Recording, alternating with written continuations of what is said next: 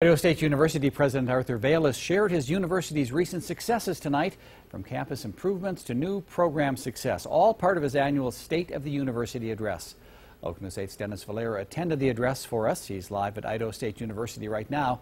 Okay, Dennis, he talked about successes. Uh, what else did he focus on?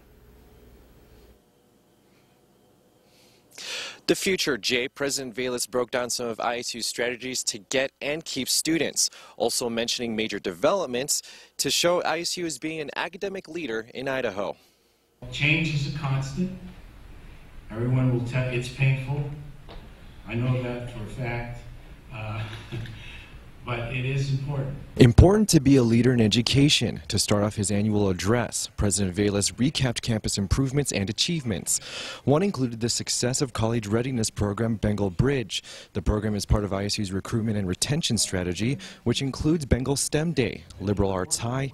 Even the tuition lock pilot program is expected to help. It's the person-to-person -person communication that makes a difference.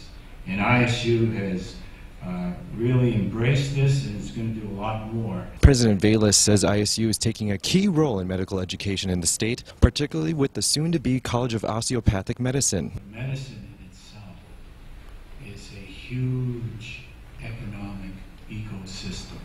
Huge. It is the second largest in the world, other than energy. President Vailas did bring up the need for diversity in ISU's future in light of the hate crimes toward Middle Eastern students in the spring. He says the students are doing their part, as is the community, to foster diversity. We are globalizing this university. We have been and we will continue to be so. The university exists for all people, all over the world. Yeah, we live in Idaho, but we live as part of the world.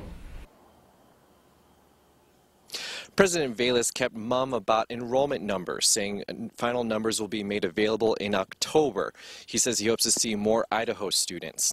Live at the Stephens Performing Arts Center in ISU, I'm Dennis Valera. Thank you, Dennis. President Vailas also talked about ISU's space in Idaho Falls. It recently had a 10,000 square foot renovation for resident faculty and new classrooms.